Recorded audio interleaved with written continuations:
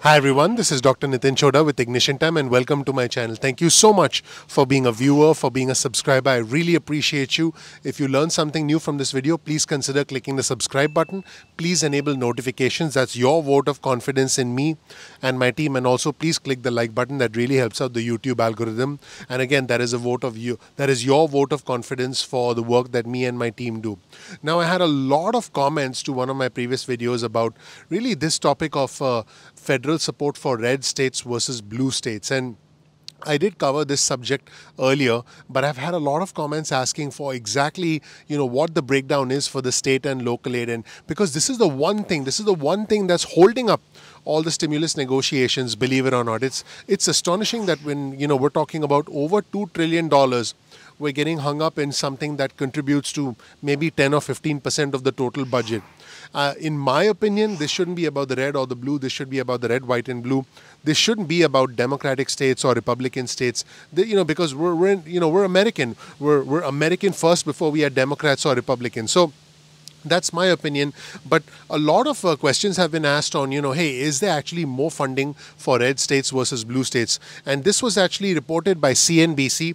And on your screen, you'll see an image that shows you the breakdown of the money in the HEROES Act. And remember, the revised version of the HEROES Act had $436 billion for state and local aid. You'll see that if you go by the 2016 election, the amount is $208 billion for blue states and $206 billion for red states. This is the updated version of the HEROES Act. So it's almost identical.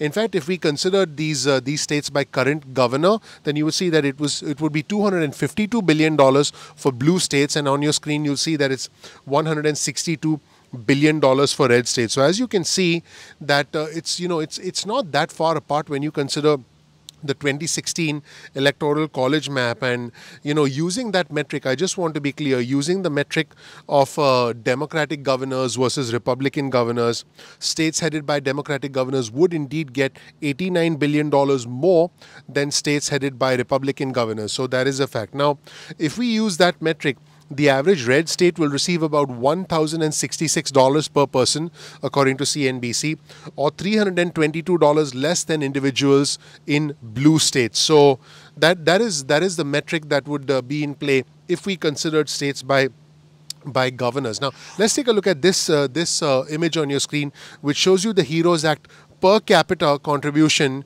uh, for red states versus blue states. Like I mentioned earlier, that would be $1,066 per person uh, for the average red state or $322 less. Uh, in other words, it would be three or $322 less per person than in the blue state. So you know again there's not you know the, the, there is a difference but again it depends on how you look at it it depends on how you define red states versus blue states and fundamentally i think that all of these all of these subjects shouldn't be about whether the state is red or blue it should be tied to the extent of unemployment in that particular state so let's look at the image again of the of the HEROES Act per capita of red and blue states i want to emphasize again that as you can see the average red state will receive about $1066 and as you can see on your image it says $1088 per person which is $322 less per person than in blue states. Blue states would receive $1,411. Dollars. Now, I do want to point out that the funding is actually linked to unemployment. It's not linked to red states versus blue states. If you if you closely analyze a summary of the updated version of the HEROES Act that was provided by House Speaker Nancy Pelosi, you will notice that the state funds were allocated according to the state's share of unemployment. They are not allocated as to whether states were red states or blue states. In fact, local and county level funding will be allocated based on a formula which is tied to population and poverty levels as well as unemployment levels. Now, it just so happens happens that out of these, out of the top 10 states that are actually receiving funding, Four of them voted Democrat in 2016 and have Democratic governors. Three voted Republican in 2016 and have Republican governors. The remaining three were actually split. So, again, uh, in fact, on your screen, we'll show you the top states receiving funds. And uh, the CNBC analysis found that every one of the top 10 states ranked by their number of unemployed also ranks in the top 10 as to how much money they would receive as a percentage of total state and local grants. So, you know, this is fundamentally tied to population, tied to poverty levels, tied to unemployment levels. you know, I mean, I, I, I wonder how a case is made as to whether it's a, a I quote, a bailout for poorly run democratic states. Again, let's take a look at the top states receiving funds on your screen. You'll see California, New York, Texas, Florida, Illinois, and these are the individuals receiving a majority of the money or receiving more of the money proportionately relative to other states from the, the, the money, the $436 billion that's been allocated as a part of the as a part of the entire Heroes Act. California, for example, would receive 14% of the total funds of $59 billion, making it first but it's also the most populous state and it's got 2.1 million unemployed individuals uh, so that makes it the mo- that that makes it the state with the most number of unemployed individuals across the country. Uh, new york now would, would receive an estimated 8.6% of the funds. That's what New York would receive, making it second. But it also ranks second amongst the percentage of unemployed individuals. The red state, Texas, ranks third in how much it would receive, and it is also third in unemployment. So this this essentially goes back to the data.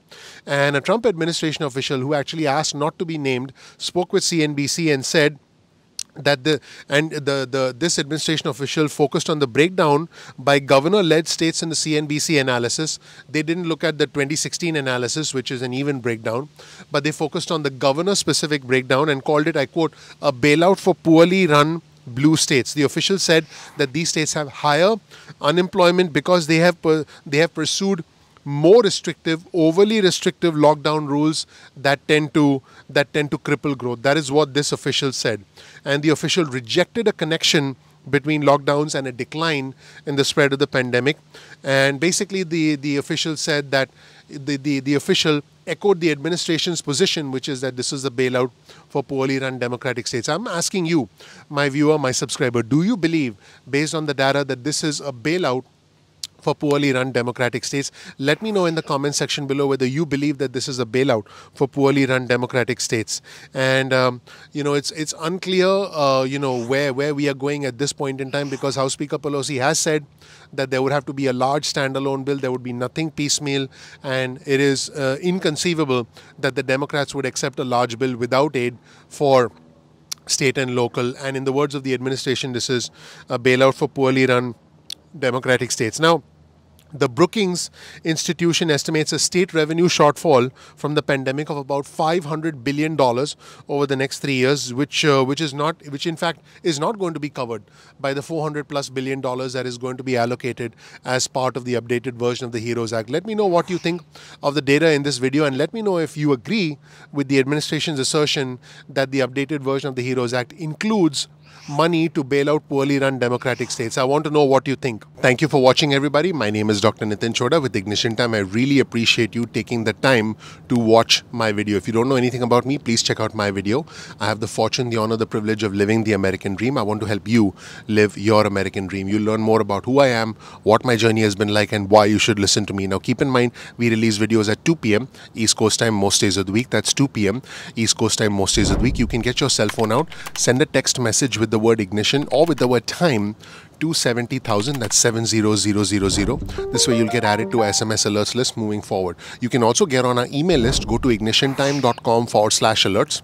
That's ignitiontime.com forward slash alerts to get added to our email list. Going forward you can opt out of the SMS list or the email list at any point in time that you want. No problem about that. Now keep in mind sometimes YouTube does not send out email notifications or notifications uh, through the YouTube application. So what you can do is simply bookmark youtube.com forward slash ignition time. That's youtube.com forward slash ignition time. This way, you can visit our homepage and check out our videos at your own convenience. You're not dependent on YouTube notifications. You can also follow us on Instagram for exclusive content on Instagram. Ignition underscore time is our Instagram handle. You can also follow us on Twitter. Our Twitter handle is also ignition underscore time, and you can get real time breaking news alerts from us on Twitter much, much faster often than you know when we release these videos. So that's it.